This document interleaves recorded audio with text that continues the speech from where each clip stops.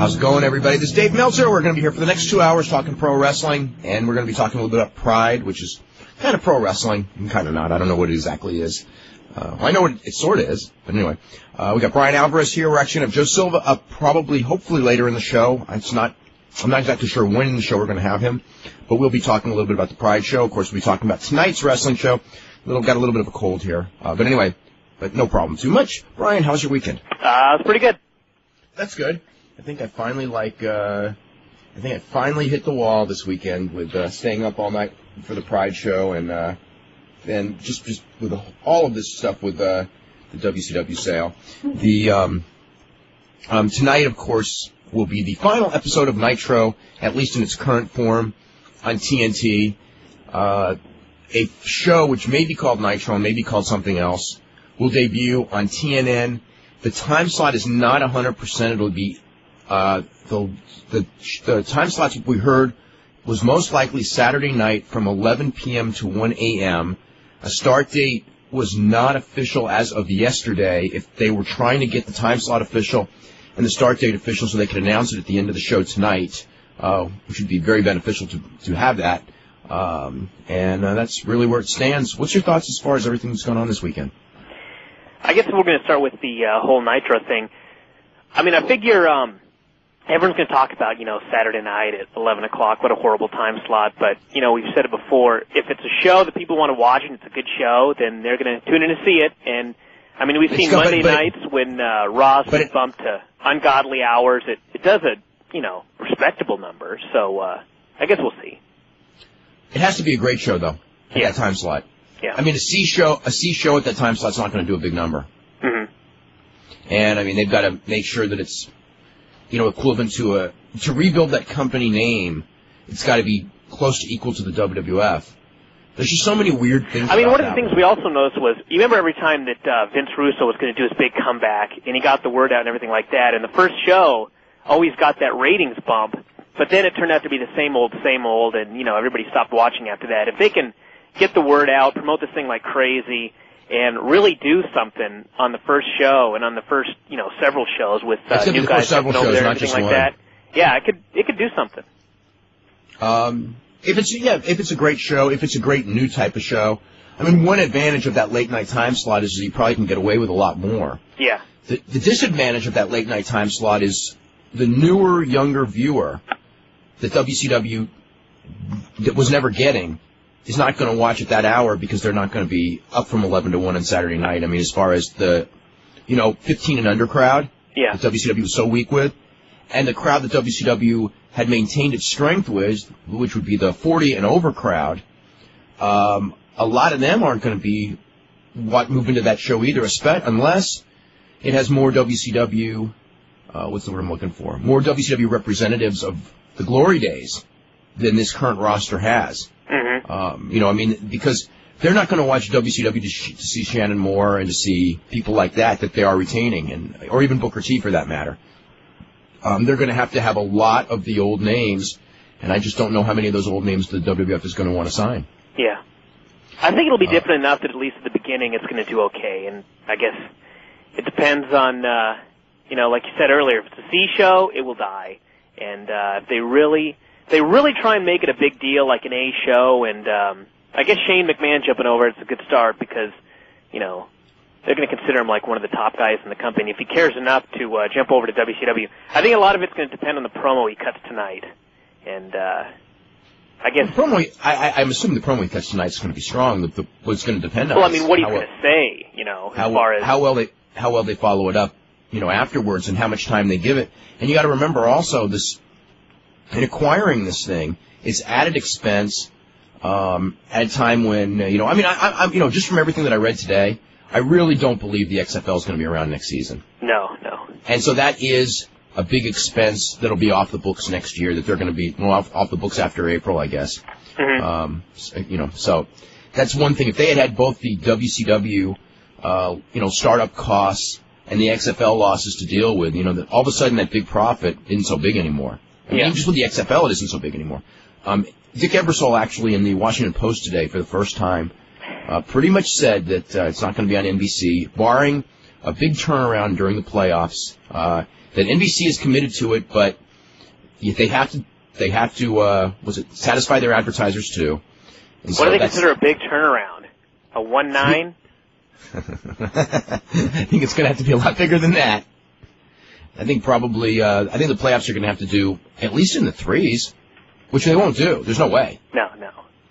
Um, the show on uh, Saturday night did a 2.0 on the overnights, which was exactly what the show the week before did, which ended up being the lowest rated show in the history of television in one of the big four networks in prime time. And this week will probably be along the same lines. Next week will probably be lower, going against the uh, going against the NCAA semifinals head to head for three hours. I'll tell you the one thing that, that Saturday night did was whatever excuses were given for last week were out the window this week, and the number stayed rough, almost the same. Um, in fact, exactly the same on the overnights. Um, last week's big excuse was um, they went against basketball, and this week they did go against basketball for one hour, but then they had two hours where they didn't go against basketball, and the rating was barely better. So it wasn't basketball. Don't forget St. Patrick's Day. I know. Come on, forget it. don't, don't, even consider that one, okay? Uh. Uh, let's see what else. WWF sold out the Garden. We're gonna go to Joe Silva right now. Joe Silva was in uh, Saitama, Japan on Sunday, and was at the Pride Show. Joe, how you doing? Hey, I'm doing really well. Hey, how was the trip? Oh, it was great. It's my first time in Japan. I had a lot of fun. Um, what what was your thoughts as far as um the show? I mean, the big thing on the show was the you know big upset night, and um, how do you think the new rules played a part in, in it, or, or did they at all? And what are your um, thoughts of the new rules of the new rules for Pride as far as like the kneeing and the kicking on the ground? Well, yeah, the kneeing on the ground changed everything. Uh, you know, a lot of matches would have gone different uh, without it. Uh, every time you change the rules, you change the fight. Yeah. You think it was too brutal?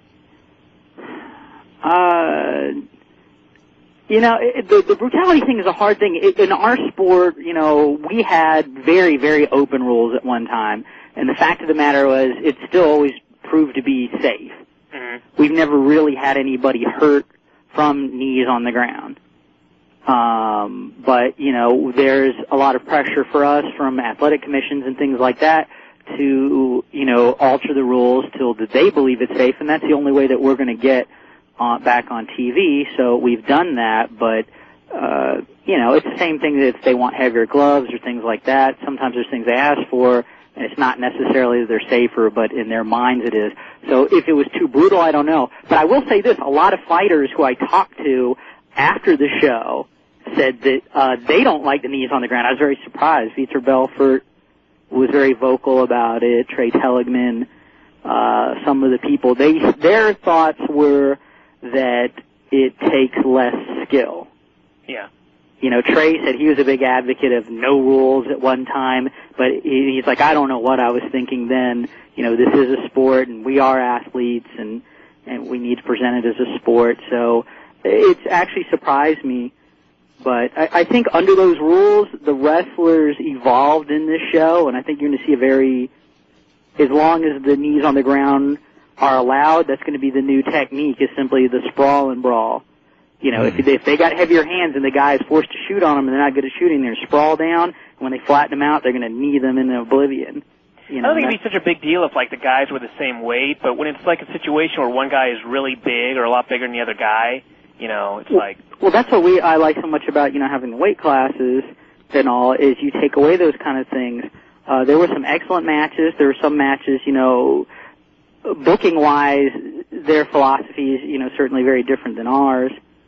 Um, you know, I don't like having guys of unequal weight, and, and with our show, that doesn't happen. You know, we're not supposed to happen uh, because of our weight classes. But yeah, I don't didn't think Allan Goes should have been in there with uh, Mark Coleman. They actually didn't have that big of a weight differential though on the night of the fight. The thing is, though, you know, I could be a 200 pounder. You know, I'm like five four, but I shouldn't be. Yeah. Mm-hmm. I mean, there's people, anybody can put on weight, but you go, is that really the natural weight that they should be at? Renzo should be a lightweight. Oh, yeah, yeah, yeah. You know, but he had talked to me before this, uh, you know, no, I want to beat middleweights and I want to go up to heavyweight. Well, that's some, stupid. You know, some people, I told him, like, dude, you know, we'll give you, a shot in the UFC at lightweight, you know, title because he's he's an excellent fighter, but gone are the days where you can give up that kind of weight when you're taking on skilled fighters. What do you think he was giving up with? Because because he could have been giving up 20 pounds to uh, Dan Henderson. Yeah, I mean, I can originally he told me that he was coming in at 190, but then I heard he just really started training like a madman and dropped a ton of weight. He he did not look big at all. So I mean, he could have been, you know, you know, in- you know, 170, Yeah. maybe What- smaller. Did you have any thoughts on as far as what you thought the best fight of the show was?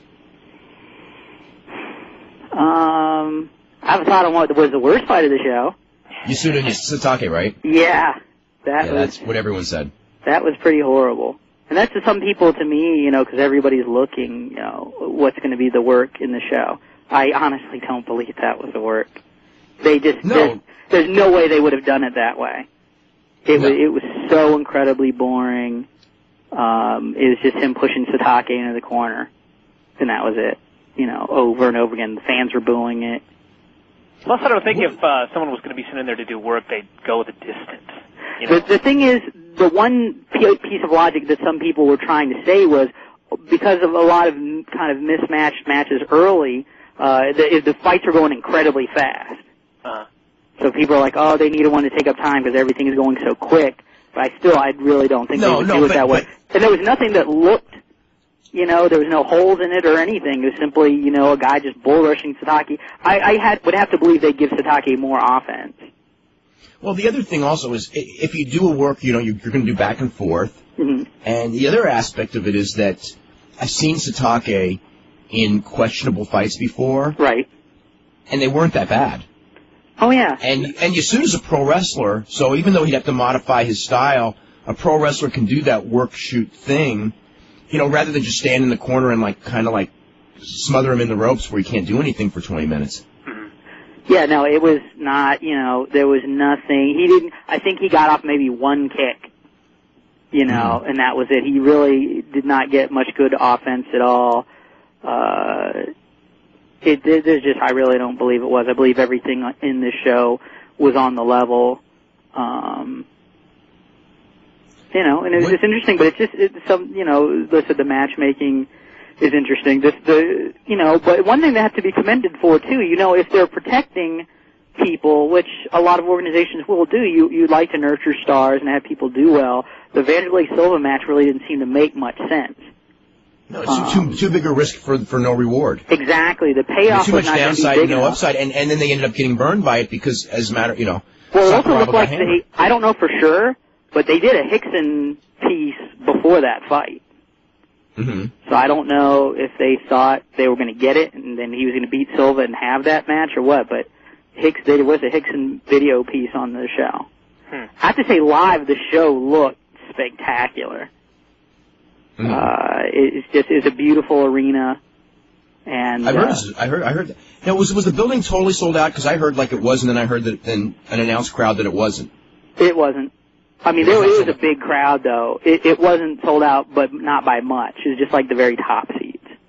Okay. so close to 27,000, or what did they announce, like 20,008 or something? They announced 20,006, and then I talked to some people that were there live who tried to tell me that it was actually 27,000. Yeah, I mean, it was very close to capacity, but like I said, at, at the very top seats there was some empties, but you know, it was a very good crowd. Uh, so the entrances were very good. The Heath Herring one looked like something right out of pro wrestling. Mhm. He's got, you know, him and all his crew had on like, uh, big trench coats and cowboy hats and everything all in black. They look like the What- new Blackjacks or something. What, uh, what, what, if any, what, what do you think this means as far as to Sakuraba, as far as as a draw? Because obviously he was the big draw on this show. I think it's a very big rematch for them. You know, he's been on such a streak, such a win, and and he went down like a warrior. He actually they did not stop that fight soon enough. It was ugly. I think that's what freaked some of the fighters out is that he, you know, he took punishment. Uh, But the, the the worst thing that probably happened for him is he did like what everybody does with Silva. Is he actually dropped Silva at one point, and it probably, you know, he, you know, he did. He wanted to take the fight down to the ground, but I think he was willing to trade more because he got him. Silva goes down like almost every fight, but he's like Felix Trinidad. He always gets back up.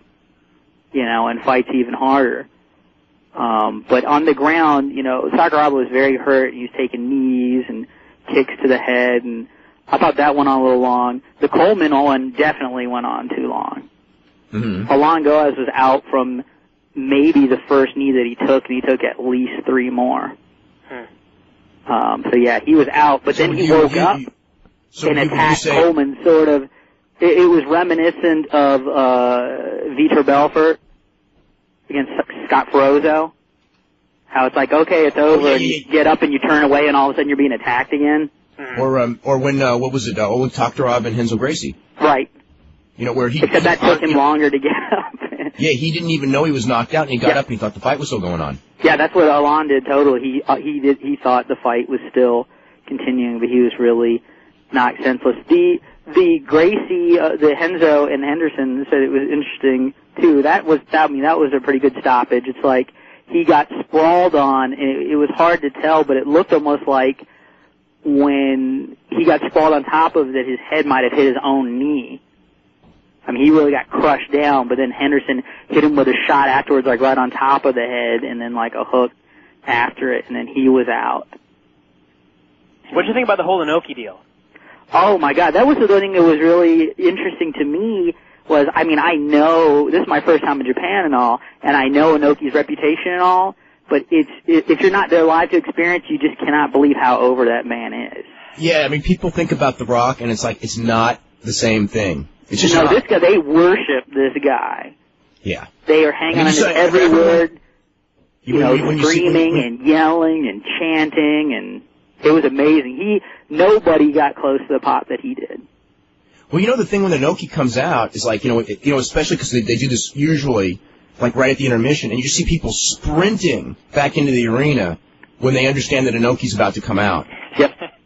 No, it was huge. Uh, they they reacted to him so much. I wish I could understand everything that he was saying because everything he said, you know, the crowd was laughing and reacting well to it. And you I think people that speak Japanese didn't understand everything he was saying. I don't understand what I don't understand it, and I'm a wrestling fan. I don't understand what he was doing. I mean, I mean, he brought out two pro wrestling belts, and he gave one to Fujita and gave one to Mark Coleman. There that was very gold belts. strange. Yeah, there was a lot of pro wrestling style angles. Um, Yeah, like the, the but but no, I heard they they set up um you know Kendo Kashin and uh and Ryan Gracie again. And it's like you know didn't they learn from the first one? Yep. Well, they figure. I guess they figure it can't get any worse. Yeah, but they killed the kid's career the first time. I mean, it's not going to unless he wins, it's not going to help him any. Plus, the thing is, I mean, he probably in his mind thinks I got caught. It was a fluke. I was not prepared, and I'll do better this time because he couldn't do worse this time. Well, he may do better, but I don't know. Well, I don't know what good that's going to do. Oh, it's the thing. Look at Takata. You know, he got smoked by Rickson the first time. He still took him on the second time.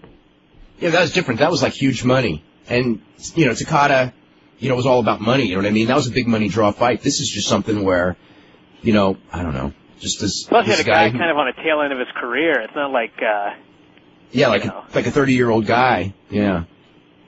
I would think he probably, you know, it's probably an ego thing. He feels like, you know what, I could make a better showing. I want to make a better showing. I got embarrassed. I want to atone for it.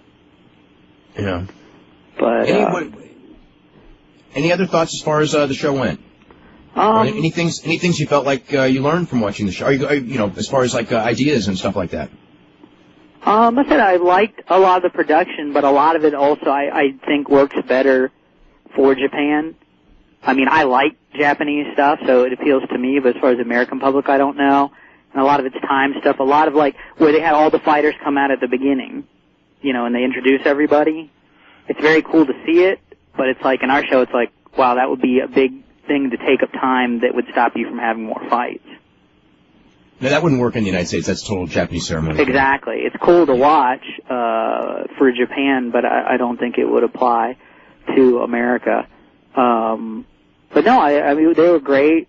Uh, you know, and it was it was a fun show. But you know, like I said, I, some of the matches, uh, it, you know, and it's not even critical thing. It's a different kind of thing, but our approach is so different.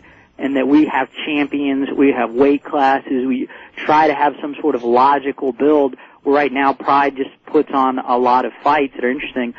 Um, oh, the one thing I would say too, probably the best fight in a lot of ways would be uh, Igor Vovchanchin and uh, Tra Telligman. What was your thoughts on that? 'Cause that was, Uh, big, it that was was- that was a know- huge upset. Yeah, it was uh, surprising, uh, especially because you know a lot of people get hit by Igor and go down, and he, he rocked Tra, but Tra dealt with it and then just came back. Did Silva just get tired, or uh, Volchanch just get tired?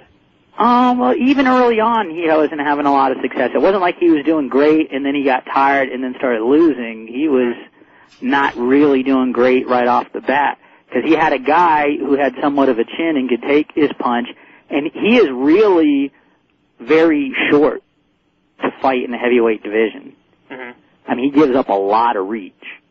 You could tell he hits very hard, but he's given up a lot of reach, and if you have somebody who can take the punch, it's difficult. And like he ended up, you know, Tra took him down nicely, and then Tra's working his guard a lot, and just he has nothing from the guard. Tra had to worry, didn't have to worry about submissions at all.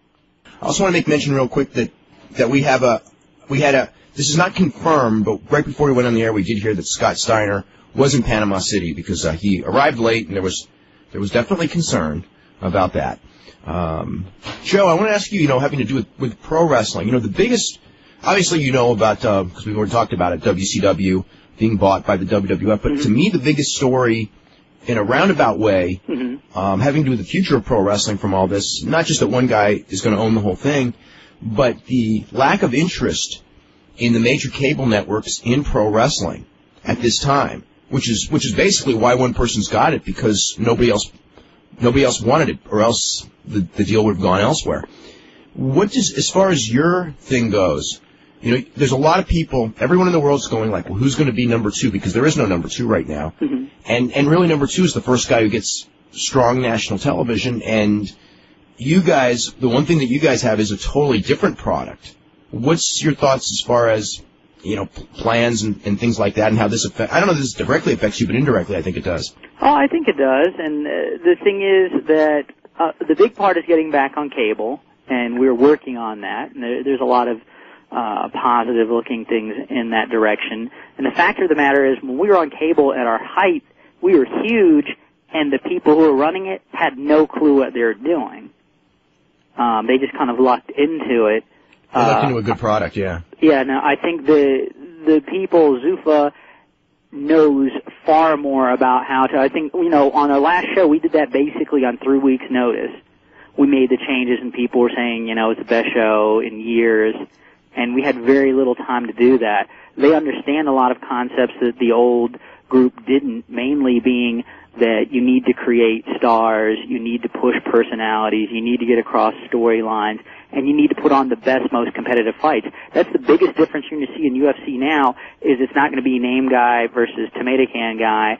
It's all going to be you know guys who deserve to be in the big show, all you know proven commodities, not just people walking off the street into the main draw anymore.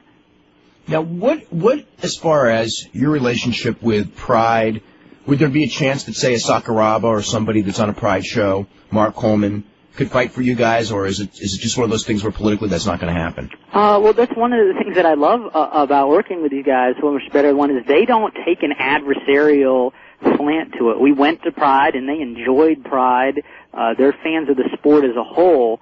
And we, as you saw on our last show, we were not afraid to say when we talked about who the best fighters in in the world are in a weight division, we listed people who weren't even in our show, and maybe never will be but they're all about legitimacy. They're all about, you know, this sport as a whole. Before the UFC would act like no other organizations existed. Sometimes we would have somebody come into our show who had great accolades from another show and they wouldn't even bring it up. Well, like Dan Severn holding the what was it the uh, that belt that he held when he fought Pedro Rizzo. Right. You know, of Yeah, course they were World Extreme- willing to let him be the NWA champion, but Well, that's a different thing. The uh but yeah that's that's completely in the past. So i as far as what will happen for sure in the future i don't know. But i do know that these guys are willing to listen and work with anybody and work to help the sport as a whole. They feel competition is a good thing and a healthy thing uh you know and they don't look at it so much as a you know it's, it's us versus them and, and get them at any cost. We feel confident in our product, and if we put out the best product we can, that we, we can stand with anybody. Now, what is what right now on May the fourth in Atlantic City? What do you have confirmed so far? Um, it's still, you know, the, there's some difficulties are simply in that the last show was so good um, that people one are thinking that oh they they made a million dollars in the last show because it looks so good and they don't realize no we're still not back on cable and we pumped a lot more money into it without bringing more money in. So a lot of demands have gotten higher, a lot more stuff needs to be worked out. Plus we're dealing with the way that business used to be done where fighters are used to, oh, we don't have to sign a contract till a week before the show. And we were looking to change that, but it's an education process. Plus we're overcoming, you know, that um, sometimes fighters and managers dealt with companies and they didn't treat them right or whatever, so there's a big suspicion you know, everybody's like, oh, you're trying to lock me up into this or that. So it's it's just a process. Um, but I think we're going to earn everybody's trust. I think nobody's going to treat the fighters better than Zuffa does. And uh, I think once we get over this first show, where we're 100% in control of it, that it will get easier from here on out. But at the moment, uh, we're still waiting on contracts to come by. We're trying to get those taken care of, you know, hopefully by the end of this week. So is there any relationship between UFC and uh, UFC Japan, or is that pretty much dead? That's dead. Okay. There's no relationship. Now, are you looking at doing something in Japan, though? I mean, yeah, it's, it's a great market. You know, as to exactly what it will be or, or when that time frame will happen, you know, I can't say. Um, but a lot of different ideas are being looked at. But uh, so we we love Japan, and the Japanese have a great appreciation for this sport and you know, I think it just makes sense that uh, sooner or later we're going to do something in Japan. Okay, Joe, I want to thank you very much for uh, doing the show today. Yep. And, Take it easy, uh, guys. We'll be, we'll be, talking to you soon, and good luck with the UFC. Later. Okay, that was uh, Joe Silva with the UFC, who was talking about the Pride Show, which took place on Sunday in Saitama, Japan, and it was the night of upsets with Vanderlei Silva beating Kazushi Sakuraba in a minute 38, and uh, Tra Telligman upsetting Igor Vovchanchin. That was one of the bigger upsets in the history of mixed martial arts, the number two heavyweight in the world losing. Although the way they matched up, it's, it's still a big upset. Um, Dan Henderson knocking out Renzo Gracie, the first time Renzo Gracie's ever been knocked out in competition, and that was very quick, like a minute 40.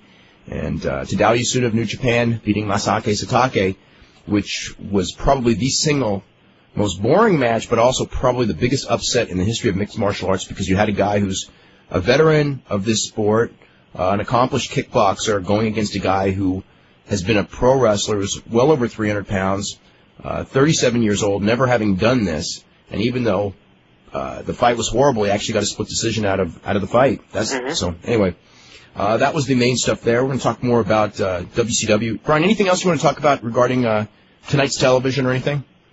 Tonight's television, as far as Raw Nitro. Yeah. I just want to. Um, I think it's going to be interesting to see what uh, Shane McMahon says because I'm just it's like they have this situation where they they own both companies and they they're going to want to start a war of some sort, and it kind of means you sort of have to bury the competition in what you say, but that's really not what you want to do as far as uh, keeping another. I mean, if Shane goes out there and goes, you know, Dad, um, I bought this horrible terrible yeah, company, but I'm going to bring you know, it back. This thing was dying, and I want to recreate it or whatever. Or is he going to come out there and say, "Look, Dad, look at what you're doing to your company. You're out there on national TV with this girl, telling her to bark like a dog. It's just horrible. And I'm going to take this company here, and we're going to crush you." You know, what's he going to say? What's he going to say that's not going to bury one or the other? Well, we'll find out. That's going to be the most interesting thing about uh, about the TV tonight, I think. Um, now, now that it's been several days and a lot of the talent stuff is starting to shake out um, as far as who they're going to keep, what the details are, and everything. Uh, what's your thoughts as far as because I mean the one thing when I look at that list of guys that they're that they're keeping and the guys that they want, when I look at that list by itself, it's like you know there's a lot of good wrestlers there, but there is no main events there.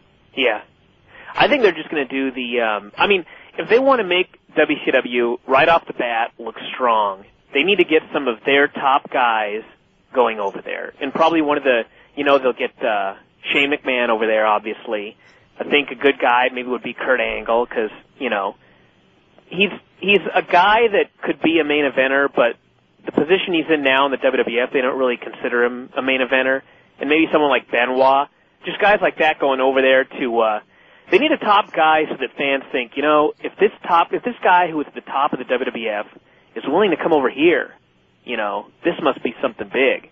If they have a bunch me- of guys like Test going over there, it'll be B show right off the bat. Okay, now here's the thing on when, we, when we're talking about that though. Uh, number one, the guys who go over there are not going to be wrestling on the road, which means that you really don't want young guys that need ring time out there. Which is funny because that's all the guys the WCW has.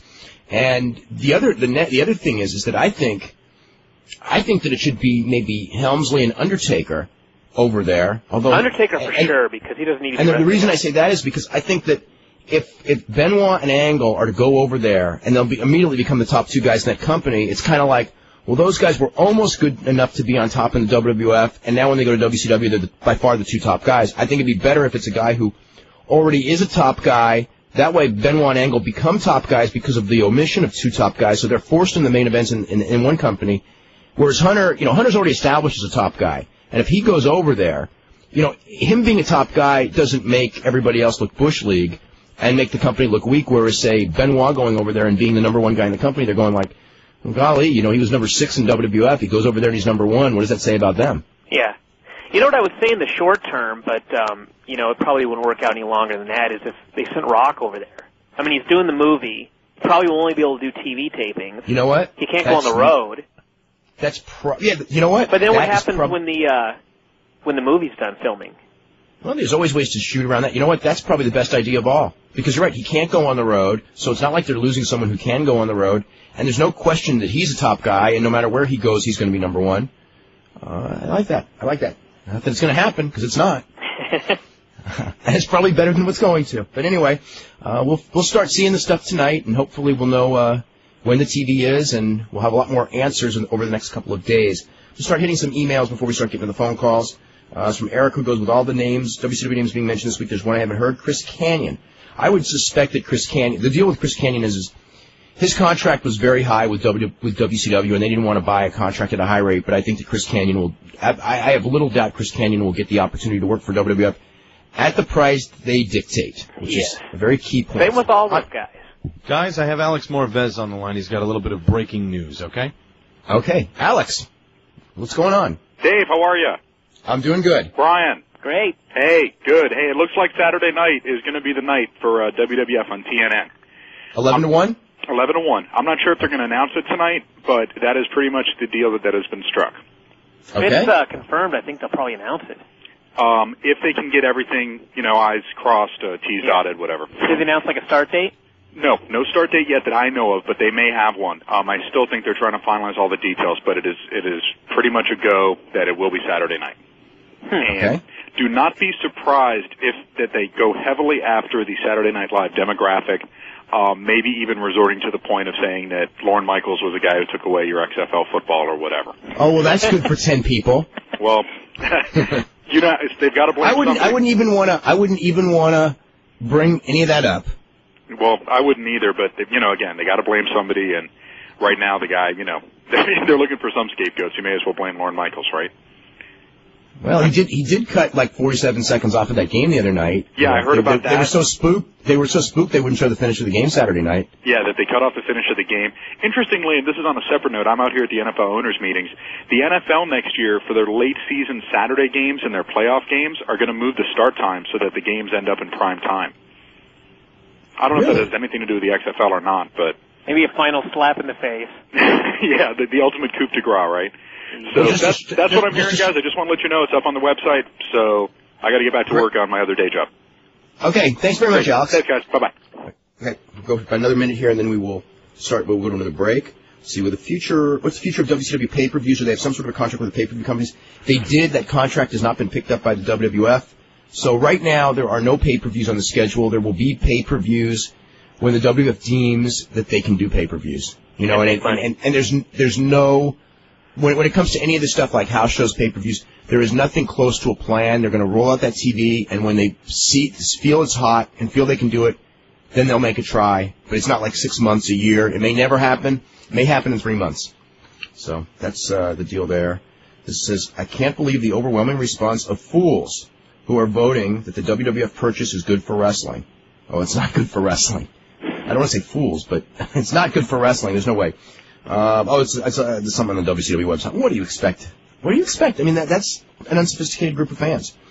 Um, oh. No, it is. Hey, it is. hey, God, that's the that's the reality of it. I mean, they don't, you know, people don't realize that wrestlers are going to be pushed around. It's not right, especially for people like me looking to get into the business. There's basically a no a no way stance right now, if you know what I mean. Hello, and I see who that person is who does not want his name recognized, but he is a relatively known wrestler um, who is probably out of work.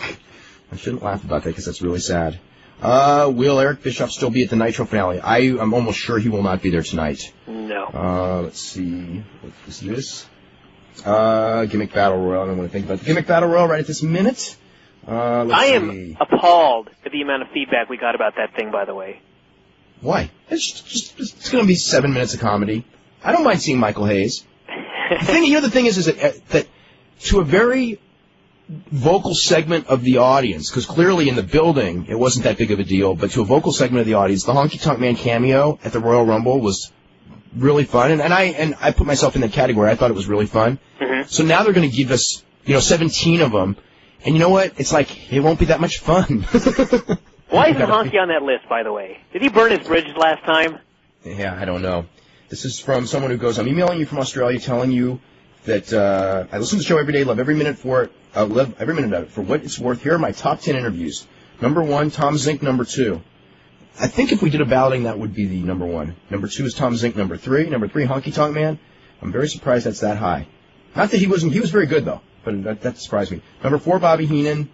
Bobby Heenan was very good that one time we had him on. Number five, Tom Zenk. Number one, uh, Tom Zenk fan. Although, I know Tom Zenk's very good on the show. Six, Lance Russell. Yeah, Lance Russell's great on this show. Seven, Steve Keirn. Yeah, I loved the Steve Keirn interview. Eight, Jim Cornette, the most recent one. All the Cornette ones are good. Nine, Rico Constantino, which is a surprise because we just had him on the other day, and um, I thought he did very well. But I mean, it was like this day where there was so much news that we didn't really get to talk to him as much as as we normally do to a guest. But he was he was good. Number ten, Missy Hyatt. I'm going to quickly go through our weekend poll, which was how would you react to the news that WWF has purchased WCW? It's good news for fans and wrestlers, 16%. Good news for fans, bad for wrestlers, 35%. Now, I'll tell you what. Now, the good news for wrestlers, there's no way. You can make an argument it's good news for fans. There's no way this is good news for wrestlers. Okay. Uh, bad news for fans and wrestlers, 12%. Some short-term good, but bad long-term for everyone, 36%. Bad short-term, but a good long, but good long-term, 1%. Today's question, which is a similar topic. How long do you think WCW would be kept as a separate entity before being absorbed into the WWF? A, less than three months. B, three to six months. C, six months to a year. D, one to two years. And E, more than two years.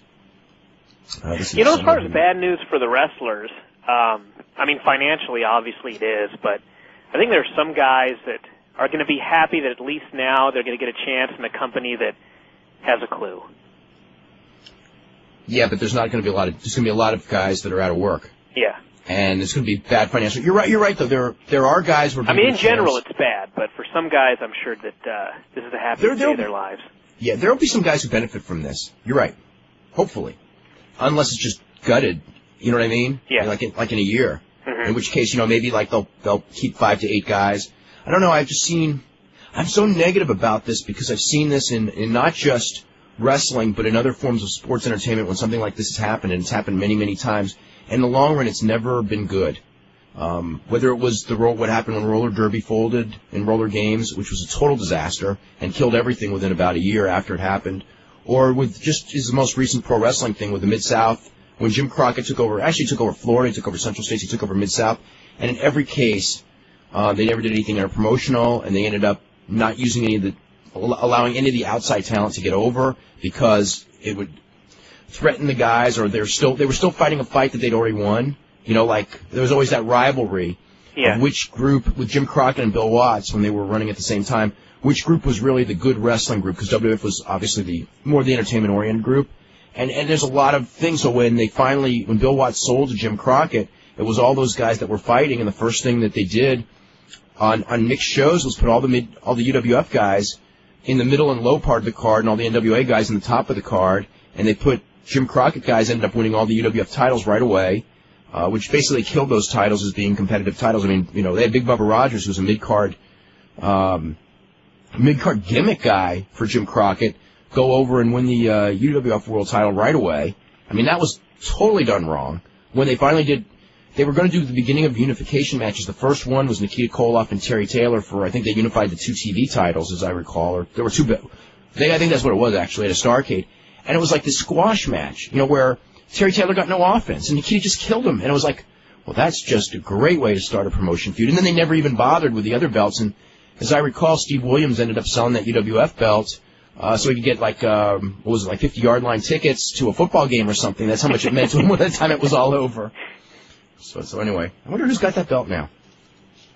This is a question. Uh, what was the biggest wrestling news story of the last 25 years? This is 15 different ones. Number one, WWF buys WCW, which is certainly one of them. Uh, WCW starts Nitro was a big one. Vince screws Bret Hart. That'd be in the 15.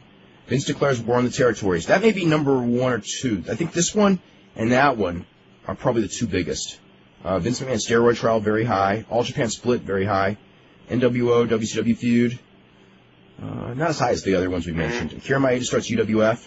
I think long term that one's pretty damn high, uh, just because of how much it changed the entire industry. Nine Rise of AAA, which would be probably the biggest one in Mexico, because it changed the whole. It changed Mexico huge. Number ten Riki Choshu attacks Inoki. That was 1982. Well, yeah, because it, it did change the, uh, the the structure of the main events in Japan from um, you know you know Americans versus Japanese to Japanese versus Japanese at the big box office. And it really did make it was the beginning of the idea when um, Americans became far less important to Japanese wrestling. That's a big one. Eleven Hogan jumps to WCW. I think Hogan jumping to WWF was maybe big was bigger than Hogan jumping to WCW actually, but they were both big. Number twelve, Ted Turner buys NWA, which was or Jim Crockett Promotions, and that was huge. Thirteen, Jim Crockett buys UWF. Uh, as we just talked about, that could have been huge, but I don't think it really was. 14, Death of Owen Hart. 15, Death of Bruiser Brody. Those are some of them right there. It's from Chris Russell, who goes, I'm from Cullman, Alabama. I was listening to a Christian radio station this morning out of Birmingham. They said they were going to have Tim Berryman, the uh, Birmingham Thunderbolts general manager, on. Uh, he was trying to target the Christian community to raise the ratings and get families to come out to XFL games and said they were going to change their product to a family-friendly product instead of the adult-style product they have now. Boy, they're desperate, huh? Look at all these changes, like in the first season. That's what's so funny. Yeah. It's like every week. Well, this week let's try uh, family entertainment. Next week we'll try uh, camera in the locker room. Of course, Derek. San- this is gonna, uh, you know, this is from Derek Sands who goes. I have a couple questions. Does Antonio Inoki know, own Pride? He does not own Pride, but he's the. Um, I guess he would be like the booker or, or one of the main bookers, probably the main booker. Uh, do you consider? Why do you consider Pride pro wrestling? Uh, because Antonio Inoki's the booker, and because its audience is entirely pro wrestling fans, and because it's the number one pro wrestling promotion right now in Japan. Uh, finally, to give the WCW World Title credibility, they should send a former WWF champion that's never competed in WCW like Kurt Angle, win the belt, lose to Goldberg. I don't think Bill Goldberg is going to be part of this, although it's possible that he will be. I don't think he will be. Uh, I've noticed a lot of the sheets on the net have been saying TNN's given WWF a time slot 8 to 10 on Friday. Well, we already know the story on that. Uh, that's not true. With the sale of WCW to WWF, the question that really is on everyone's mind is, whatever happened, what is, what will happen to Bob Ryder? I have no idea. no idea. Uh, what's the story with Shane Douglas? Did he leave WWF on good terms and will be one of the guys who will have their contracts restructured? I think Shane Douglas I wouldn't hold your breath a lot of trouble. I think he's in a lot of trouble. Uh, let's see. This is from Hector Velas, who goes, I checked out the Mat Rats video on their site. I really liked the match highlights. Totally hated the teeny bopper crap, but I'm really interested. Give me more information on Mat Rats, who formed it, and when they're going to have a TV deal. I don't know when they're going to have a TV deal. Um, the moves in the matches are phenomenal. Uh, they really caught my interest. Um, as I said when we were talking about this the other day, it's not something that's going to appeal to a lot of wrestling fans because it's totally aimed at teenage girls. So that's going to hurt a lot as far as like to mainstream pro wrestling fans. Um, as far as the TV, do you, do you know who formed it in the TV deal or anything? Because I know you know some people in it. No, I don't know who. Um, I know Teddy Hart's involved, and I actually don't even know the name of the other guy, but um, they're pretty much the main guys. If I can find that letter, I'll let you know the guy's name. Do you think WWF will book some of their top stars to wrestle dark matches at WCW tapings that may draw more fans? They won't have to tape TV in empty arenas. Interesting. You know, the idea that they send like Steve Austin or somebody like that or Kurt Angle to work the main events when they when they finally do tapings. It's not a bad idea. Not a bad idea. Uh, I don't know. I, I don't think they're going to do it though, but uh, they may. I was wondering where I could get a copy of the Heroes of Wrestling pay per view. Uh, you're Oh, I'm sure those are all over. yeah, I think you could probably get it pretty easily. Um, yeah, I need to see Jake the Snake. Uh, See, that's far from the only thing you see on that show. You need to watch the whole show. This goes from Sean. Goes, I will lose all respect for Scott Steiner if he doesn't do what's right for the business tonight.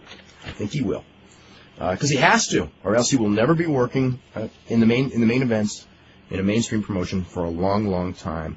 Uh, the first day of trading after they announced they bought WCW, WF stock rose a dollar fifty. I heard that. Wow. Yeah. In Winnipeg, Cyrus hosts a weekly radio show. Yesterday, he revealed he had a deal with an announcer in the Fusient Run WCW. Nice to reveal it. He said he no longer had the deal. I guess Bischoff was going to make good a good decision and hire Cyrus. You know what? I can tell you something. Bischoff was going to make a lot of good decisions. I don't know that it, that overall he would turn it around or anything, but he was. He had a lot of good decisions that he was hiding. Uh, let's see, from Todd Ferretti. As far as equipment purchased in the WCW sale, uh, what did the WWF buy? Uh, that's a good question. I don't know. Are they going to use WF rings or w, WCW rings or WF ones? Uh, will did WWF keep any of its referees, or will Earl Hebner? I, I think they'll probably keep the refs. Uh, do not know. Uh, let's see. This one, Jeremy goes. You know, for the first time in a long time, I'm actually very excited about the two shows tonight. I just hope it does not get added to the list of letdowns we've grown accustomed to. Hey, it may be great tonight, but tonight's but it's over tonight too. Yeah. You know. Uh, it was see. over last Monday, actually. Well, it was over when when the um. When I mean, the transition's already gone through. Yeah. Do you know? Do you think the rumors of Jerry Jarrett and Bert Prentice starting a new national promotion are true? Well, they're true as far as um, they're talking about it. Uh, personally, I think it would be the greatest thing for the wrestling business because these are two of the greatest minds that ever came along. Yeah, but where are they going to put their show? How are they going to do a national promotion without a show? I mean, there's just, uh, you know, there's so many factors we talked about a million times. Great, they can, you know, they can talk and say we're going to put this promotion together. They can come up with some money and get some guys, but then what? Yeah, no, hey, there's plenty of big name guys that are going to be available. You know, more than more than they have been available on the independent scene or by a third promotion or by a new promotion, I should say, to start out within a long, long time. But it's like, where's going to be the exposure? And also, the other thing is, is even if you can get the exposure, the amount of money it costs now for production, because if you don't have good production, you can't compete. And that's where WCW lost all that money was trying to, you know, uh, you know, do the promotion. I mean, do like major league production while not having major league revenue coming in. And again, and, and if somebody else, whether it's Jerry Jarrett or anyone, if they don't want to do major league production, they're not going to get anywhere. And if they do, they better have major league revenue coming in, and that ain't going to happen right away. Uh, let's see. I think the WWF and WCW could do a World Cup of Wrestling like New Japan and WCW did at Starcade when they merged the two together. Maybe a big show like a WrestleMania or SummerSlam. Uh, WWF has no interest in anything with Japan right now. Uh, what's the status of Super Crazy? Um, it's up in the air. I don't know. Do you know if Jason Jett and Kid Romeo earned a spot in WCW? I am relatively sure that both guys will be offered a low contract. uh, let's see. Da, da, da, da, da. Uh, let's see. How much stroke does Paul Heyman have in the WF storylines? Um, decent amount. Input. Yeah, he's got decent input. Yeah. Uh, WWF needs to put Rob Van Dam on WCW TV.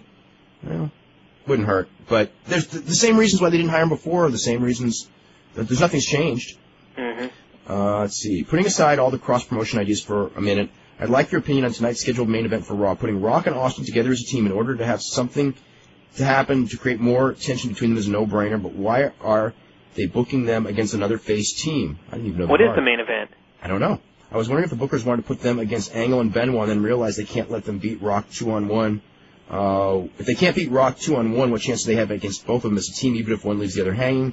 I don't see this event generating that much crowd response, and without Benoit or Angle to carry the match, who would want it? Furthermore, it doesn't seem to do anything to help Helmsley and Undertaker build up. Maybe it's all a swerve and we'll be getting something different. I don't even know what the card is. Um, let's see. Da, da, da. When can I get Bischoff on the show? Uh, we'll ask. I don't know. Is there any chance we'll be stuck hearing Tony Schiavone? Losing thing, him is the best thing about the collapse of WCW. I think there's a good chance he will not be there. Um, You know, one thing I was thinking about today, though, is I think that at the very least he should be given a chance. I mean, Mhm. part of me thinks he shouldn't because he's the face of the old WCW that everybody hated. But I mean, we were talking about it before. Like back during the hot period, he wasn't an embarrassment. Oh, he had something to good. call that was entertaining for him, and he did, you know, a decent job. Uh, let's see. What's up with the WCW production crew? They can't keep any of these unprofessional people. Why do I have to contact and for a new? Who do I have to contact for a new production job? WWF. Uh, let's see.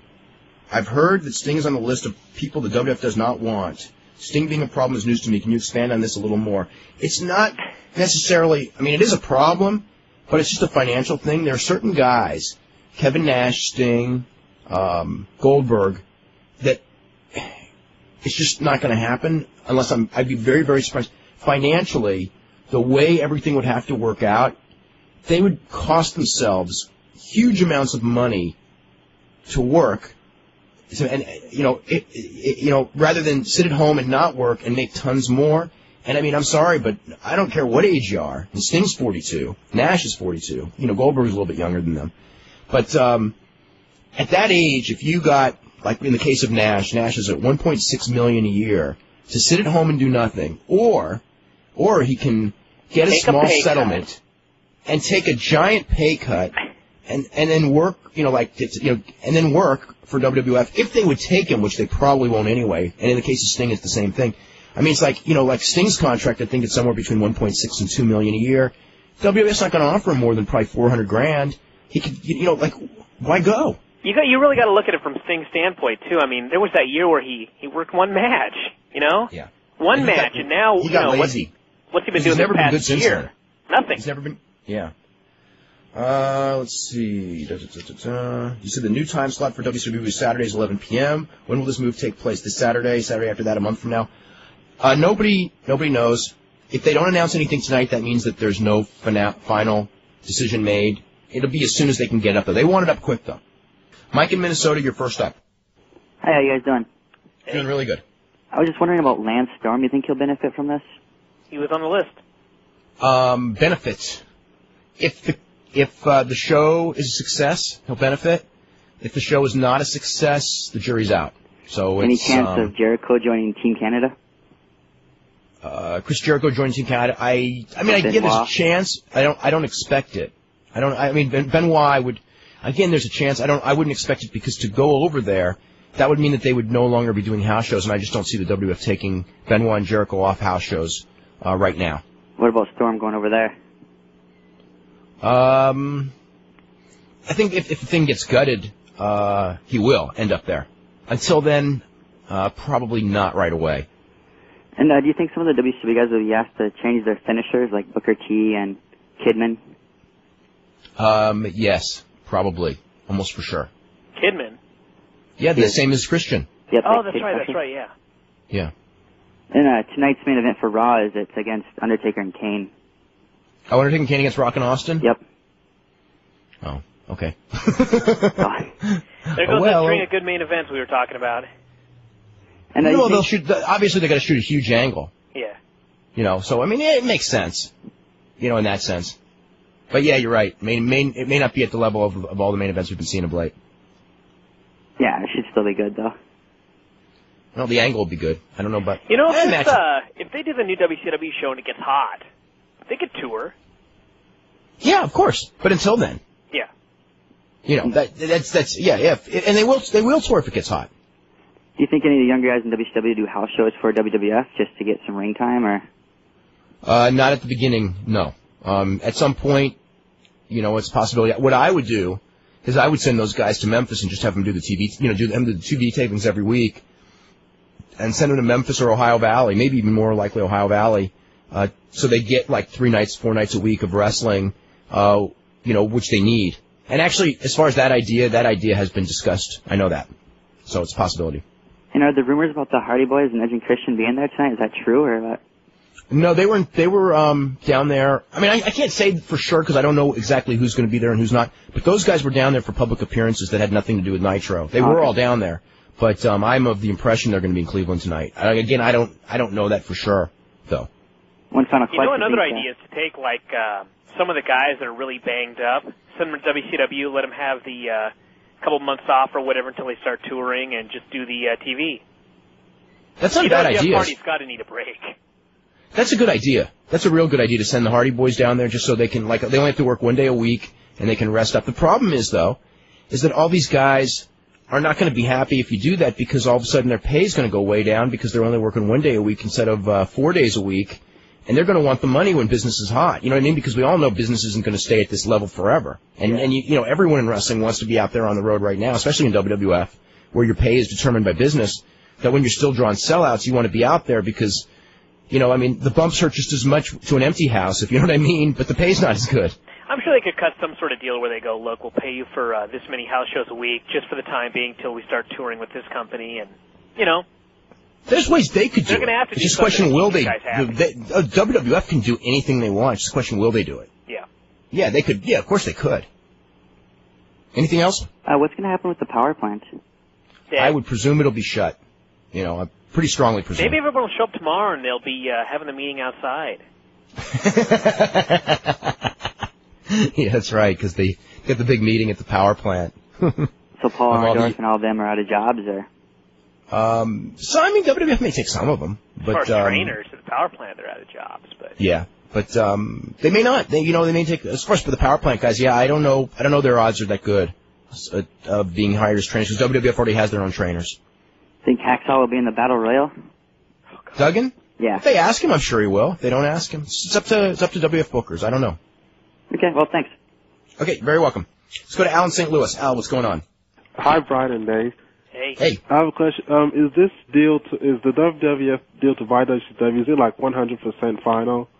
no, it is not 100% final, but it, I don't expect it to fall apart because there's nobody else to sell to. Okay. So, you know, it's it's you know, it, again, it, it will probably be final by the end of the week as far as final final. But they've signed, you know, it's basically as final as the Fusient deal was to buy WCW in January, which has turned out never happened. Okay. Okay, and one more, and another thing. Um, so what's gonna happen to like the non-W, what- the, the non-wrestling staff in WCW, like the executives and the people who run the website? I don't think anyone knows the answer to that right now. Um, that's all they're up to need to keep some of the office crew just to take some of the strain off their own office crew. I mean, Yeah. people that can do jobs and aren't, um, you know, they're obviously not going to take someone that uh, is going to do like what Jim Ross is doing because he's going to be in charge of that. But someone who maybe, uh, I don't know, maybe like someone who's booking the arenas, they'll keep them or something. Mm, I think they're going to book their own arenas. Really? Yeah, yeah, I am pretty sure of that one. Yeah, they'll book their own arenas. because Because you got to remember the people who are booking the arenas, they've booked the arenas during a time period where they were running six nights a week with three shows a night. So now running four nights a week, the idea of like having to give them an extra night, you know what I mean? Okay. That that crew has has booked a thousand shows a year. Now they're booking two hundred. So and it's the same crew. So the idea of like if it increases from two hundred to say three hundred shows, uh, they're not going to hire. They're not going to hire like the people from WCW to do that. Okay. And so is the plan right now to have like the WCW up like on Saturday nights on TNN? That's the plan as of right now. Yeah. Okay, and um, another thing, um, Missy Hyatt mentioned a website called Ringrats.com. What is the website? Do you know what the ad- address is? Brian might. I don't know. Ringrats.com. What is Ring it? There's a dash after the ring though. Ring-rats.com. Ring-rats.com. Okay, and another question. And okay, one last question: Are all the um, WWF um, um, pay-per-views this year still set? You know, are they all still set? The WCW. WWF I'm things. Yeah, sorry, I mean the WWF pay-per-views. WWF pay per views are all going to be the same. Yeah. Okay. Uh, well, thank you very much. Okay. Very welcome. Let's go to Jonathan in New York. Jonathan, what's going on? Yes, how are you doing, um, Dave? Doing Um, really good. First off, uh, I want to know now that um, Vince McMahon has become the Julius Caesar of wrestling, what does Eric Bischoff have to say about all this? As far as I think he's very, very disappointed. I mean, what is he doing now? Um, I don't know what he's doing now. Probably trying to sell non-wrestling television shows, like he did with that. Uh, what was that thing called with the cars? I forget. I'm sure he's going to try to come up with. I Right. I don't even remember the name of it anymore. Something on wheels. I don't know. Okay. But no, I think he'll probably try to do something in the television industry. I'm guessing. Right. And and, and um, now that the um, well, the WWF purchase of WCW is not final, you said, right? It's So- not 100% final, but it's it's it, this one's really not going to fall apart though, because there's no there's th- there's no way it can. I, I guess is the best way of putting it. So does that leave like an open slot for like the uh, the uh, lower companies such as XPW or UPW or anything like that to make it, you know, boom? Mm, I mean, it, it, it, it would leave some talent for those guys to get if those if that those pieces of talent are willing to work cheap enough to fit into those companies' budgets. I mean, like I'll just give you an example for UPW. Okay, Right. UPW only runs one show a month Hmm. in the Galaxy Theater. It holds about 700 plus people, and they're going to draw 700 people. They, they they fill it every single month. So yeah, they could add 10 great guys, Jerry Lawler and Buff Bagwell and Luger and Steiner Brothers and all this. But they're you know all it's going to do is cost them money because it's not going to make them an extra dime. So Yeah. Oh. you know, so it's like economically, yeah, you can do it. Yeah, there's more guys out there. If it's done right and the guys are willing to work within the independent framework of money, um, yeah, it can help the independents. It can. This this can help it a little bit. I don't really bit. know how much help it's going to be though, because if you look back, like um, you know, a few weeks ago, we were talking about all the ECW guys that went off and were doing independence, and it wasn't like they were doing shows that all of a sudden were doing 3,000 people. They were working shows with 150 people, just like any other No, other. no, that's right. They haven't made any difference really um, at all. The only independent shows, um, the only show I shouldn't say independent, but the only shows in this country that are really drawing over a thousand people were the last two weeks. Uh, AAA did one, and uh, the Lucha shows and the Ultimate Fight shows. I mean, the, the independent wrestling. I mean, uh, very rarely draws a thousand people now. So it's I mean, those you're are not going those to are get a really big star like Lex Luger or Kevin Nash to come in for 500 bucks. They're going to want just a ton of money, and the guys that are going to come in for 500 bucks aren't going to mean probably $500 worth of tickets. Well, well then, uh, what happened to Vince Russo? Whatever happened to that guy? um, he's still alive and he's just collecting his money from WCW. I mean, he, oh man. And um, apparently, does um ECW still exist? Um, the the, the Depends letters still he has exist. I think I think Vince WCW McMahon I think Vince. McMahon owns the letters now. I'm pretty sure he does. Um, So, okay, so and uh, you know, yeah, they, I think they've got the rights to it. okay. And one last question: What the heck is McMahon doing with Taz, man? Why the hell is he just like sitting around? I mean, isn't he, you know, fit to get his push like Raven did? Raven hasn't gotten that big of a push either. You know, it's it's real tough. It's a competitive situation, and um, I think Taz is actually doing pretty well for himself. You know, I mean, if he was wrestling, he'd be Mhm. dead by now. I mean, oh, the oh, fact come that he's he doing was the human suplex machine in ECW. He was feared, man. Come on, you know. Wait a second now. he was he was feared because Paulie was a great booker, but when you got a guy who's five foot six, you know, in WWF with all those huge guys, the whole size thing Yeah. just changed the whole dynamic. Well, well, speaking of huge, you know, I was thinking he'd go against the Big Show and just like, you know, have like a David and Goliath thing, and just he just beat. and choke him out? Yeah, he just beat the crap out of the Big Show. That would that would have been real great, you know. Well, it would be great if you could convince Vince McMahon to do it. But that's not Vince McMahon's mentality. I mean, we're we're we're still trying to convince him to let Benoit beat the Big Show, and that hasn't happened yet either. Hey, why was the XFL rating down this week? Yeah, yeah, there you go. The, X, the XFL sucks. It's basically ba- based on those cheerleaders of Vince McMahon's. You know, it's mass. Um, you know, No. I, I don't know. I just don't, it's just no liking to it. I, I'll stick with the NFL. Okay. You know, thank you very much. Oh, and Okay, I'm you're- real sorry about the WCW purchase thing. I hope Bischoff has something else planned or whatever. you know. And, Okay. Uh, thank you very much, guys. yeah, nice yeah. speaking this with you. guy, free question we've been ranting about on the website. Let's go to Arthur. Arthur, what's up? Hey, Dave. Uh, first off, I have a question about WCW, but before I get to that, I was just wondering, uh, I just spent a half hour on uh, mixed martial arts when uh, today's like the biggest story in pro wrestling. Uh, because there were over 20,000 people, and it was the biggest wrestling show of the last three months in Japan. And we do cover Japan on the show. Yeah, but I mean, like everyone wanted to know what was going on WCW. Well, and that's what we're Yeah. talking about too. But there was a Nothing has huge happened show on yet. Sunday Tomorrow night. will be the day.